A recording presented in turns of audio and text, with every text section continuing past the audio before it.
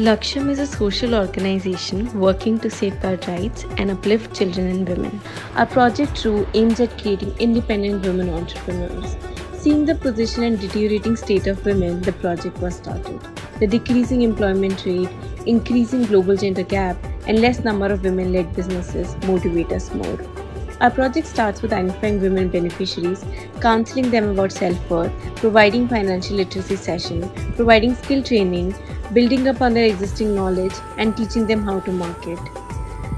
The products that we create solve another problem of cattle management in the country, wherein cows are abandoned.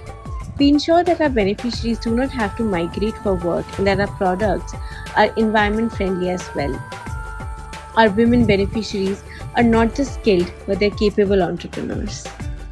मेरा नाम आरती है लक्ष्यम से मैंने सिलाई का काम सीखा है जो बैग बनाते हैं उससे हमारा खर्चा चलता है मैं चाहती हूँ लक्ष्यम में और औरतें बढ़ सके We create a bond with the community with our love and efforts. We try to understand them every day by putting ourselves in their shoes. We have successfully empowered 4,000 women, educated 7,000 on menstrual hygiene, and distributed more than 1 lakh sanitary pads. We're continuing on our journey of joining hands to hearts.